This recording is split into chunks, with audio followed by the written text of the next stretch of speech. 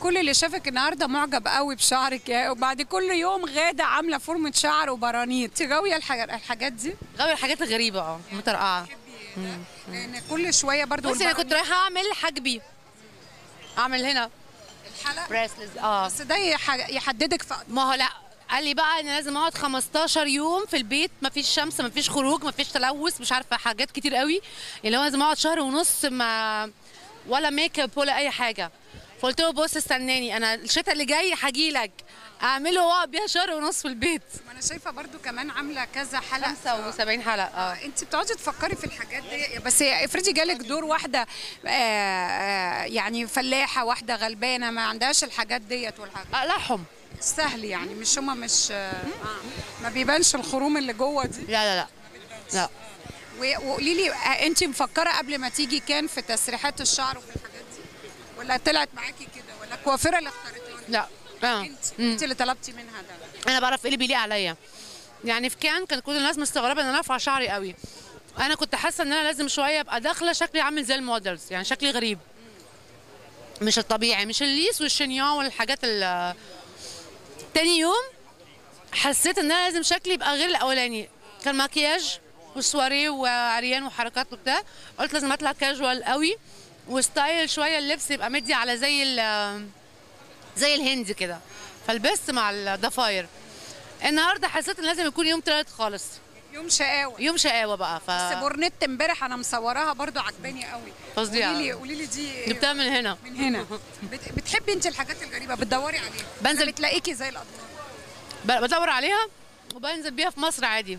كل الناس تستغربني وأنا داخله اقعد أقول ما, ما يفرقش معايا. تلاقيني لابسة مثلا الشابو ده ولابسة مثلا من تحت جينز. غدا يمكن كل مرة الناس بتشوفك بشكل وبتتغيري دايما في, آه، في, في على الشاشة. حتى الناس قالت إن بعد الحاج متولي عملتي عمليات تجميل. عملت مناخيري دي حقيقة. يعني أنت حابة ده إن إن أنت تغيري في ملامح وشك مع ملامح الشخصية. ده بيفيد الفنان. آه طبعا جدا. إن ما يحطوش في مكان معين. بصي أنا حاولت أغير يعني كنت عايزة أشيل دي مثلا؟ الدكتور قال لي no way قال لي دي لو اتشالت هتسيب غرزة هنا في وشك فهتبقى علامة. فأنا خفت جدا فسبتها. آه عملت مناخيري لأن كان عندي défaut فيها جامد جدا كده. آه مليت شفايفي سنة بسيطة بس آه رجعت بعد كده ما اقتنعتش بيها خالص. حسيت إنها كبيرة قوي عليا على على ملامحي. فما كررتهاش تاني. حسيتي بقى كده؟ لا الخسيت دي ما دي دايت بقى. كل الحاجات هم بيقعدوا يقولوا شفط ومش عارفه إيه وايه وايه كل الكلام ده ما بيجيبش نتيجة. أساسا كان جسمك رفيع يعني بس هو كان واكبر دليل على كده.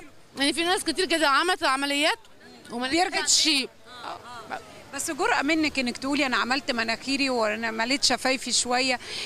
أنت واضحة قوي كده في حياتك يا غاده ما بيهمكيش. لا لا. برافو عليكي.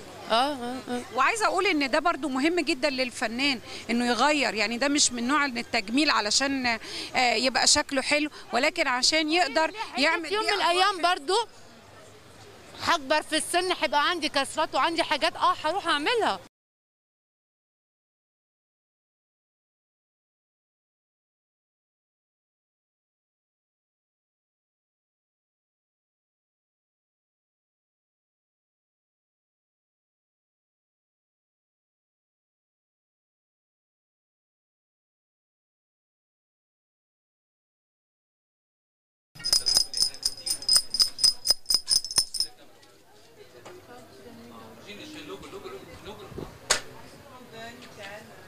ابني صغنن يلا خديه خديه الغاده عشان لا، مش هجيب لها. عشان نصالحك عليها. لا مش هجيب لها ده لا هجيب لها souvenir شبه وشها. استني عليا. آه. يا بوسي يا بوسي عندي إحساس إيه جامد بقى؟ إنك ما عشتيش طفولتك. أنا؟ آه أنا عشتها كنت شقية جدا. لا مدياني إحساس إن أنت باللي بتعمليه آه، إن أنت وأنت صغيرة ما ما عشتيش السن ده. بالعكس عشته آه آه. وعشان كده لحد دلوقتي لسه عايشاه عارفة أنت ما بتحبيش تخرجي منه؟ لأنه أحلى حاجة عشتها في حياتك؟